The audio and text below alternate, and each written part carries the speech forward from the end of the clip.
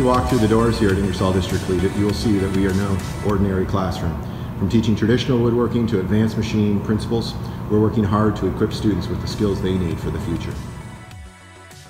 Traditional woodworking forms the basis for many of our skilled trades, while equipping students with the knowledge to work with power tools safely.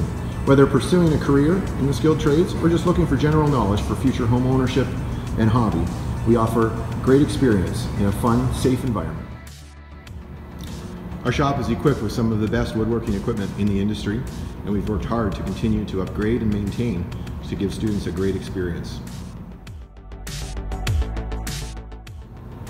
Computer numeric control, or CNC, machining, has revolutionized every industry, whether wood, metal, or plastic. Here at Ingersoll District Collegiate, we're working hard to equip kids with not only the skills that they need for traditional skilled trades, but also advanced machining.